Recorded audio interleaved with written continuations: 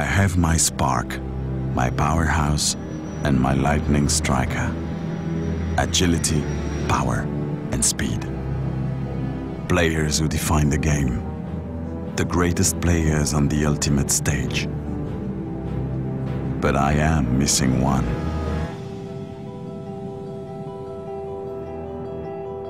A man who was once just a curious boy,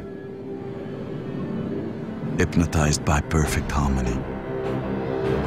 And the man in the middle, the conductor, he who creates balance out of chaos, beauty from turmoil, elegance from disarray.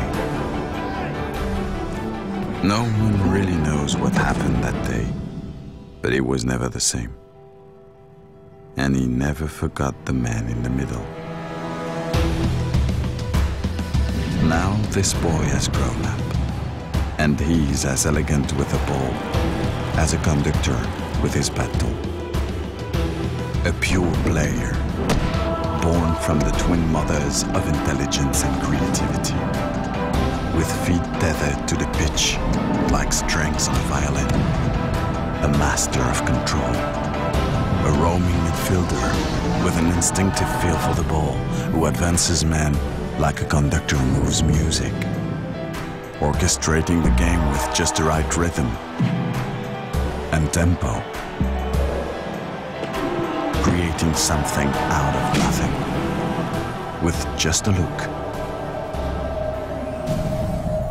and a perfect one-touch pass, ending the match with a crescendo and a bow.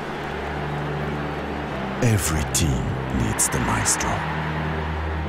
And so ends this chapter in my search for the greatest players on the ultimate stage. But this journey isn't over yet. Not by a long shot.